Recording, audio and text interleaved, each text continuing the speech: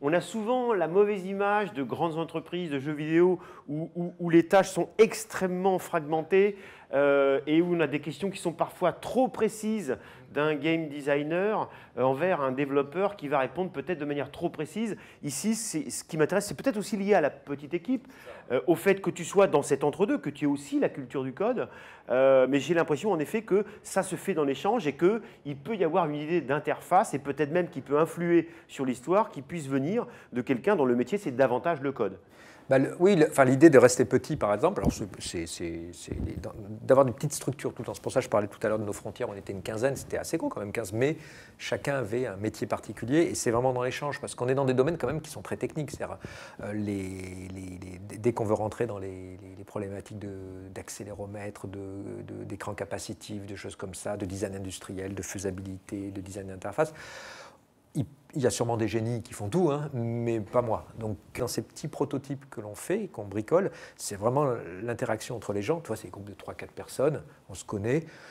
Tiens, t'as ça, moi je rajoute ça. justement, sur ces objets-là, c'est ceux-là qui sont avec une encre conductrice, c'est ça? Oui, tout à fait. Euh, je trouve intéressant aussi quand tu nous dis qu'il y a parfois des idées qui vont trouver leur techno, mais il y a aussi des technos qui trouvent leurs idées. Ça marche dans les deux sens. Et ça, je trouve ça aussi très intéressant.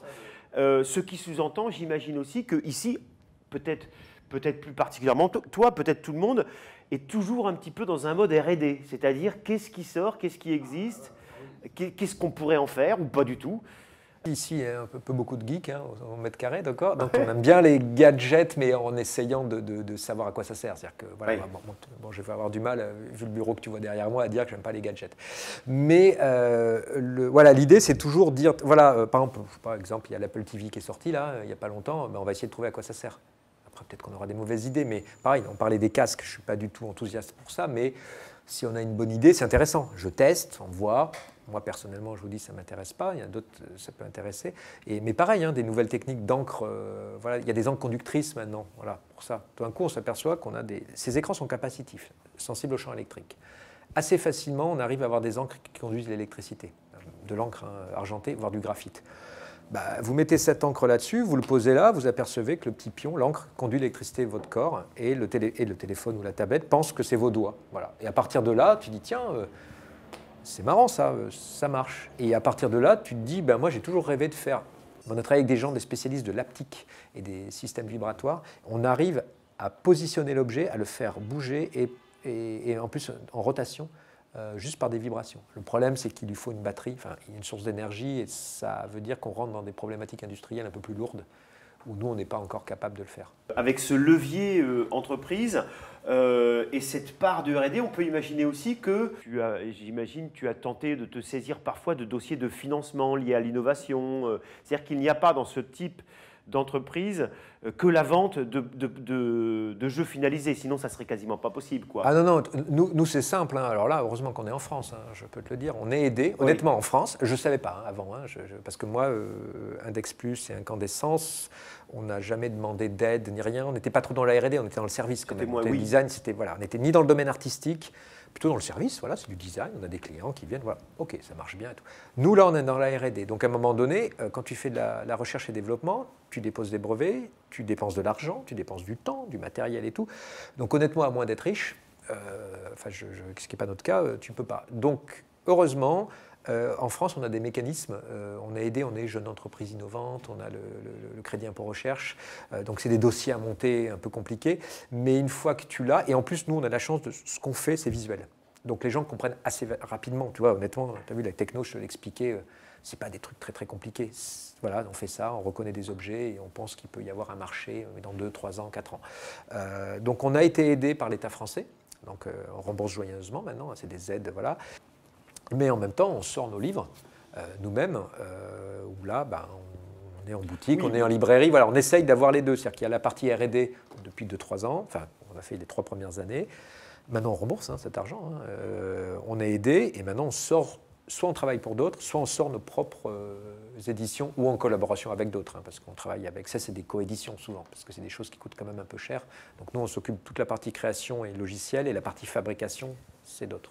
Tu dois déposer, j'imagine, régulièrement des brevets, y compris pour des jeux qui ne sortiront peut-être pas Oui, alors ouais, on a une politique de... On est obligé, je ne connaissais pas ce joyeux milieu, mais euh, on a été obligé de déposer des brevets, puisque dès qu'on travaille, par exemple, avec Hasbro, c'est simple, hein, c'est des très très gros du monde du jouet, hein, c'est les premiers au monde, Hasbro par exemple, euh, ils, sont, euh, ils sont obligés de se protéger. On n'est pas dans du logiciel hein, ou de l'œuvre d'auteur, c'est très simple, en France, en Europe en tout cas, photographe, illustrateur, typographe, c'est protégé de fait, on est auteur, c'est très simple. Alors que là, on est dans le droit industriel, on invente des choses. Donc, euh, je me retrouve inventeur.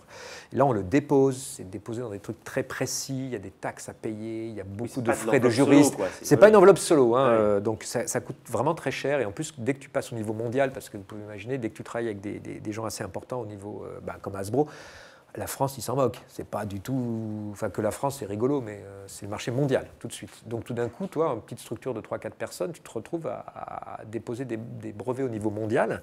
Et en face, c'est ce que j'allais dire, tu as du lourd. Nous, en face, on a Disney, par exemple, hein, dans les brevets qui travaillent. Disney a des super labos de recherche, vraiment. Euh, alors, c'est marrant de se retrouver face à eux. On, a, on est travaillé sur le même domaine. Ils travaillent dans plein de domaines, mais entre autres, ils travaillent sur le domaine des objets euh, voilà, posés là-dessus.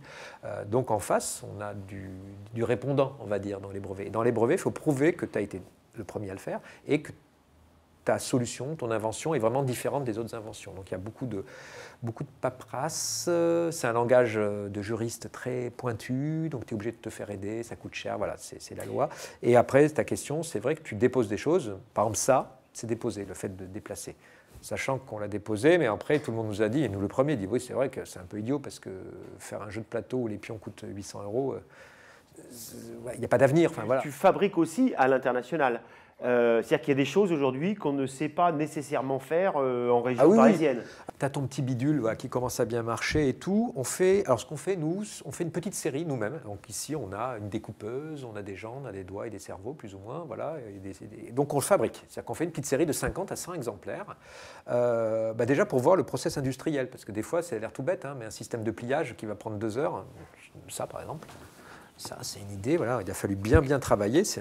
on va dire au début, c'était un livre dont on peut être le héros, qui est un cube. Et en fait, il se déplie petit à petit. Et tu as à chaque fois trois possibilités. Donc, c'est, une mécanique assez amusante, en fait.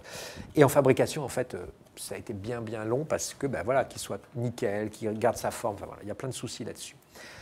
On fait une petite série là-dessus, et en fait, on a souvent euh, un petit stand au, Salon de Montreuil, le Salon du livre et de la jeunesse, et en fait, par exemple, ça, ça s'est passé très bien. Euh, vraiment, les gens ont bien accroché. Euh, il était vendu 15 euros quand même, parce que c'est tout plié à la main et tout. Et en fait, le prix n'a pas. Ça, c'est un truc intéressant aussi. Euh, le prix, dès que tu vends un objet physique, ça a un prix.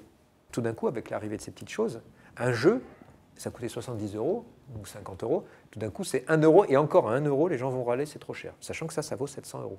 Hmm. Tu fais, mais Enfin, super. tu dis, mais il y a un souci. Par contre, ça demande autant de travail hein, qu'avant. Hein. C'est pas parce que le jeu est à 1 euro. Voilà. Donc, tu es obligé de faire des, du massif. C'est-à-dire que c'est les Candy Crush, c'est des, jeux très, très mainstream qui peuvent gagner de, l'argent. Parce que sinon, euh, ton jeu, tu le vends à 100 exemplaires, euh, tu as gagné 100 euros. Et encore, Apple te prend les trois quarts. Enfin, pas les trois quarts, il te prend 30%. Mais Android, c'est pareil. Donc, donc, soit tu, dès que tu fais un truc un peu différent, ben, vraiment, hein, tu peux arriver à vendre à peine 200 trucs. Hein. Ça peut arriver, hein. 200. Tu dis, ouais, j'ai travaillé trois mois dessus, euh, j'en ai vendu 200, ce qui fait 150 euros. Voilà, ben, allez, je vous invite au kebab à côté. Et puis, et puis voilà. Donc, c'est alors que ça, ça coûte pas plus cher à faire. Par contre, c'est vendu 15 euros. Et, les gens ne se sentent pas floués. Personne est venu nous dire Ouais, vous êtes des voleurs, c'est super cher et tout. Tu fais Non, voilà, ça a du poids, c'est un bel objet, il est plié, il y a des petites cartes. Voilà. Donc, ça, c'est aussi intéressant comme, euh, changement. Là, je parle plutôt en termes euh, économiques. Mais l'objet physique, et c'est pour ça que les gens du jouet auront toujours, un, auront toujours un avenir, et les entreprises du jouet sont beaucoup plus stables que les entreprises de jeux vidéo, parce que le jeu vidéo, ça change très très vite c'est une industrie qui est passionnante, mais qui est très, euh, si j'étais investisseur, que je ne suis pas du tout, c'est un marché très risqué en fait. Alors que je peux te dire que quand à Monopoly, ou l'invention du ballon, je dis n'importe quoi, hein, ou, euh, ou, je sais pas quoi, ou d'un, ouais, du ballon par exemple, honnêtement, il y aura toujours des ballons. Enfin, toi, fabricant de ballons, j'ai pas trop de soucis pour ton avenir. Et c'est vrai que quand tu fabriques ça, ça, ça vaudra toujours un euro, enfin, ou deux. Que, voilà, ça, c'est intéressant aussi, sans parler du grand plaisir que tu as à manipuler des petits objets, à les garder et à continuer l'histoire. Une fois que le jeu est fini, tu continues ton histoire là-dessus. Et, c'est un support de mémoire, ça, assez intéressant. Euh, pour les enfants particulièrement, tu vois, mes enfants, moi, ils ont ça au-dessus de leur lit. Euh, ils vont jouer aux jeux vidéo. Voilà. Et il continue à jouer, l'histoire continue dans le livre, dans le doudou ou dans la petite figurine en plastique ou en bois.